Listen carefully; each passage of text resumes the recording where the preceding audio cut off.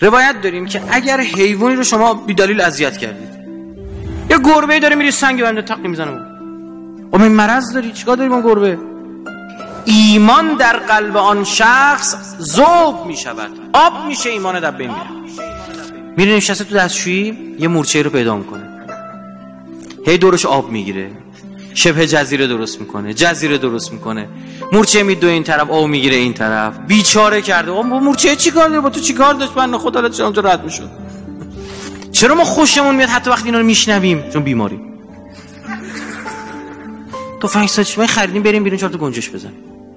تو می‌خوای مثلا تیراندازی تو برو قوطی کبریت بزن تیراندازی اونا درد احساس نمی‌کنن. پوست تو می‌کنه خود تو وسایل شیعه اومده؟ شکار حیوانات برای تفریح و بدون احتیاج حرام. حرام خدا لعنت کند کسی را که یال و دم اسب را قطع کند.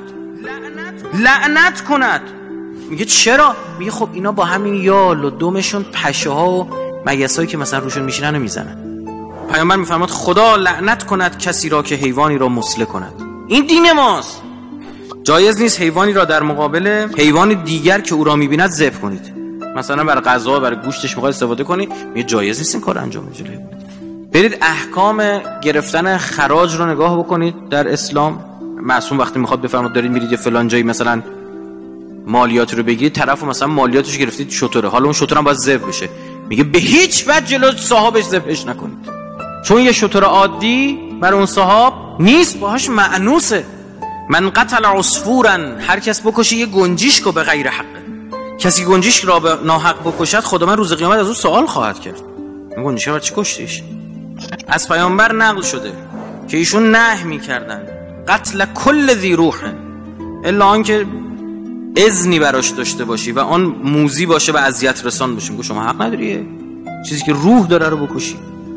از پیامبر نقل شده میفرماد که در شبی که به معراج رفته بودم بر آتش جهنم گذری داشتم. زنی را در حال عذاب دیدم.